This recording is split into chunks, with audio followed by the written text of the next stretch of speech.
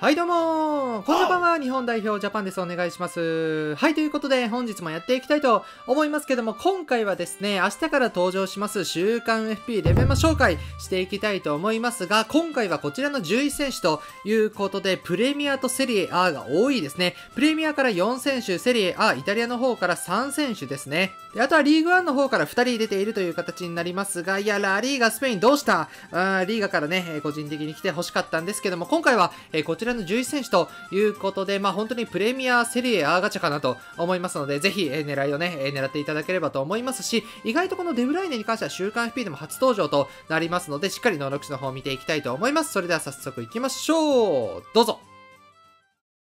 まずはマンチェスターシティ、デブライネから見ていきたいと思いますけども、えー、先ほどね、言及しました通り、週刊 FP では今回初登場となります。能力値ご覧の通りですね。週刊 FP に関しては3つの能力値が爆上がりとなるんですけども、今回デブライネに関しては、オフェンセンス3、ドリブル4、この2つが上がったという形ですね。1レベル時点で3つ上がりますので、レベマにすると2つ、えー、しっかり上がったなというところかなと思いますが、まあ、今作に関してはね、まあ、スキル追加ありましたんで、かなり、え使われる方多くなっているんじゃないかなと思いますし、間違いなく最強クラスの中盤の選手かなと思いますので、ぜひゲットしていただければというところです。で、前回のマンチェスターシティのクラブセレクション、そしてベルギー代表ナショナルセレクションと比較していきたいと思いますが、今回ですね、プレイスキックが2下がりました。で、オフェンセンス3、ドリブル4、そしてボディコントロールが1ずつ上がったという形になりますので、まあこれはですね、今回の週刊 FP に乗り換えていただければと思いますし、CS かナショナルセレクションかで悩んでいる方はですね、まあこちら2つともね、全く変わりありませんので、まあ習慣を持ってない方はどちらでもいいのかなというところですね。で、続きまして、スパーズの方からケインということで、ケインに関してもですね、2つ能力値が上がりました。で、ボールキープ4、キック力4ずつということですね。まあ、オフェンス決定力かなり高いセンターフォワードかなと思いますし、最強クラスなんじゃないかな。まあ、共にカンストというわけではないですが、オフェンス98ありますし、決定力に関してはカンストという形になりますので、本当に得点能力が高いセンターフォワードの選手かなと思いますし、スキルにワンシューもワンパンも持っているというところはかなり大きな部分かなというところですね。で、前回のクラブセレクション、ナショナルセレクションと比較していきたいと思いますが、今回に関してはボールキープ3、決定力1、で、キック力がナショナルセレクションと同じなんですが、3つずつ高いという形になりますので、まあ、個人的に今回なのかなと思いつつ、ただまあ、ライブアプデ B 以上で使うならですね、好調以上がね、多いかなと思いますので、CS だったり、ナショナルセレクションでもいいのかなというところですかね。で、続きまして、ポグバということで、ポグバに関しては今回週刊 FP では初登場の選手ですね。まあ本当にユナイテッドのこのアウェイユニフォームで登場するという形になりますので欲しいなというところなんですが、今回はですね、ボールコントロール、ボールキープ、そしてキック力が3つずつ上がっています。まああのミドルシュートはエグかったですね。ですのでキック力しっかり上がったという形になりますけども、まあスキルにワンパだったりスルーパスも持っていますし、中盤の選手の中ではまあどうですかね、最強クラスと言っていいんじゃないかなと思いますが、ただ唯一瞬発力の低さというところがネックな部分かなというところですかね。で、前回のクラブセレクション、ナショナルセレクションと比較していきたいと思いますが、今回ボールコントロール、ボールキープ、キック力が上がったという形ですね。まあ、ですので、やはりポグマに関してはね、アグレッシブス高いよりはね、えー、前目の能力値の方が高い方がいいんじゃないかなということで、週刊 FP 乗り換えていただければと思います。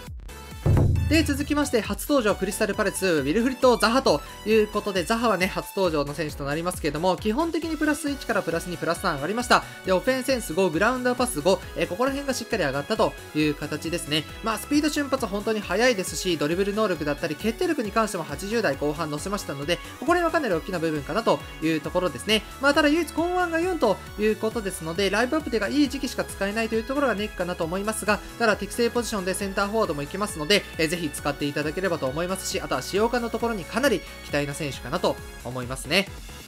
で、続きまして、ユベントスの方からクアドラードということで、クアドラードに関しても今回週刊 MP では初登場となります。基本的にプラス1からプラス2、プラス3上がりました。で、グラウンドパス、フライパス、そしてカーブがプラス5ずつ上がったという形ですね。まあどうですかね、サイドバックだったり中盤の位置で使うのが多いんじゃないかなと思いますが、サイドバックで使うならですね、ディフェンスエンスボールダッシュがかなり低いかなと思いますので、まあ前目で使った方がいいのかなというところですね。逆足23でコンワン6という形になっています。プレイスタイル超えていくサイドバックということで、前のクラブセレクションと比較していきたいと思いますが、パス系がね、えー、高くなっていますし、カーブに関してもプラス3ということですんで、まあ、前回がですね、スタミナの部分がプラス3という形になりますけども、まあこれは週刊 FP に乗り換えていただければというところですかね。で、続きまして、セルゲイ・ミリンコビッチ・サビッチということで、ミリンコビッチ・サビッチに関しては前回ラチオのクラブセレクション出ていますので、まあ、週刊 IP で初登場となりますけども、ユニフォームも緑色なんでね、背景にかなり溶け込んでいるなというアイコンになっているかなと思いますが、能力値ご覧の通りとなっています。で、フライパスが3つ、プレイスキック4、そしてボールダッシュが4ずつ上がりました。まあ、ただですね、他のところプラマイゼロからプラス1しっかり上がったなというところなんですけども、まあ、スキルにワンタッチパスだったり、まあ、この辺はありがたい部分かなと思いますし、プレイスタイルも2列目ということで、身長がかなり高い2列目の選手かなと思いますので、えぜひ使っていただければというところですね。ただ唯一根腕が5ということですんで、ライブアップでが C の時は使いにくい選手になっているのかなというところですね。で、えー、前回のクラブセレクションと比較していきたいと思いますが、プレイスキック、ボールダッシュが3つずつ上がりました。で、レペマ総合値も1つ上がったという形になりますので、まあ、ラチオのクラブセレクションのミリンコビッチ・サビッチを持っている方は、今回に乗り換えていただければというところですね。で、続きまして、ゼニトの方からアズムンということで来ましたね。前作もかなり登場回数多かったんじゃないかなと思いますが、基本的にプラス2からプラス3上がりました。で、オフェンスつけてる6と5つずつ上がっていますし、プレイスキックに関してもプラス5という形ですね。まあ、センターフォードの選手ですんで、ここら辺が上がったというところはかなり大きな部分かなと思いますし、全体的にかなりバランスが取れている能力値になっているかなという印象ですね。まあ、高いところでバランスは取れていますので、ぜひ使っていただければと思いますし、かなり使用感のいいセンターフォードになっているのかなというところですね。で、スキル面で見た時にもワンシュだったりワンパだったり持っていますので、ここら辺はかなりありがたい部分かなという印象です。プレイスタイルはラインブレイカーという形ですね。で、続きまして、右サイドバック、ハキミということで、ハキミに関してもインテルのクラブセレクション出ていませんので、初登場となりますが、能力値ご覧の通りですね、オフェンスセンス6、ドリブル5、そして決定力が5上がったという形になっています。まあ、この選手に関してはスピード瞬発かなり高いですし、パス系もある程度あるということで、サイドバックで使ってみてもかなり面白くなっているんじゃないかなと思いますし、両サイドバックいけるというところが個人的にかなりありがたい部分かなと思いますね。まあ、今作からサイドバック固定ですんで、通常から濃い適性がかかっているというところも魅力の一つかなという点ですね。レースらインナラップサイドバックという形です。で今回ゴールキーパー枠はですね、ランスのライコビッチということで、基本的にプラス4上がっていますね。で、GK 能力3つしっかり上がりました。GK センスプラス6、キャッチングプラス7、ディフレクティングプラス7でカンストという形になりますが、まあ、コラプシングだけね、90代後半に載せていませんが、まあ、かなり GK 能力は高いんじゃないかなというところですかね。ただまあ、スキルに低弾道のパントキックだったり持っているんですけども、コン安が5ということで、ライブアプデ C 以下の際には、ガチスカで起用するのがかなり難しいゴールキーパーにはなってしまっているのかなという印象ですね。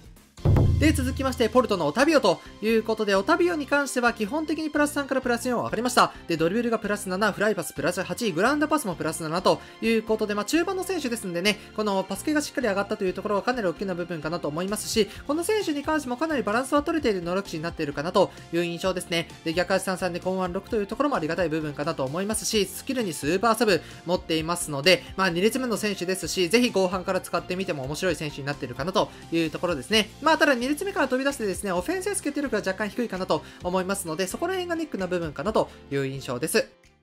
で、続きましてセンターバックラストアルバロ・ゴンサレスということでマルセイユから来ましたね。ということで能力値ご覧の通りとなっているんですが、この選手全然ガチスカに入ってくるような選手かなという印象ですね。まず身長は183センチなんですが、ヘディングジャンプ、フィジカルコンタクトはかなり高く、ディフェンスセンス96、ボールダッシュ92、アグレッシブメンスも98ありますので、ディフェンス系の能力値もかなり高いんですよね。まあ、プラス6ずつという形になっていますので、しっかり評価されたんじゃないかなと思いますし、プレイしたらハードプレスという形ですんで、ぜひこの選手に関してはガチスカで起用してみてもいいんじゃないかなとと思いますし、あとはサイドバック、右のね、サイドバックもいけるというところはかなり、え、魅力的なところかなという印象ですね。